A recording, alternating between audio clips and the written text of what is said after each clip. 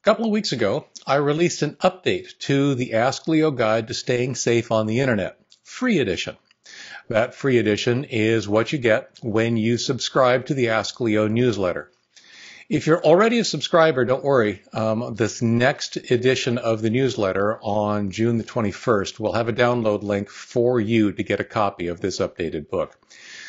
I sometimes call this my most important book because it covers broad range of things to staying safe on the internet, everything from the software you need to run to what it means to have common sense to cloud safety to just a bunch of other things.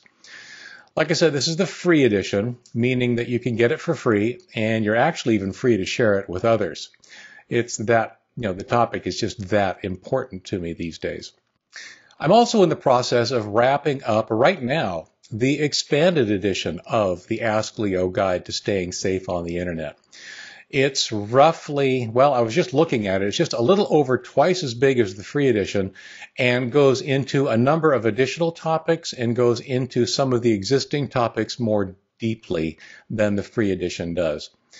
I hope to have that available here in the coming weeks. Uh, you'll obviously hear about it here, but if you have already purchased the paid edition of the Ask Leo Guide to Staying Safe on the Internet, the previous version of this book, you actually already own the new edition before it even comes out.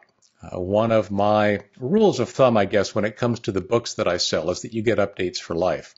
So if you've already purchased the Ask Leo Guide to Staying Safe on the Internet, Keep an eye on your registered members area. Make sure you've registered the book using the link in the book.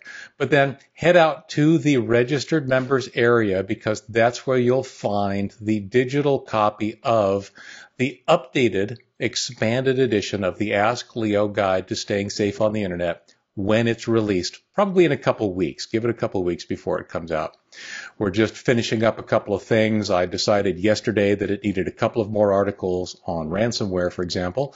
So we're polishing a few things and making sure that everything is what it should be, but I'm hoping to get it out probably in a couple weeks. It's interesting. I refer to this uh, from time to time as my most important book, and it's actually based on something I consider to be my most important article. Internet Safety Seven Steps to Stay Safe on the Internet is an article on Ask Leo. Here's a link to it. And it's something that I wrote originally, gosh, several years ago, and it's been revised several different times. You'll see that it's actually linked to from the Ask Leo homepage. Uh, it's something that I point people at from time to time because it is a good basic overview of basically everything you need to do or want to do to stay safe on the internet. That article turned into a book a few years ago, and that book has been revised a few times now.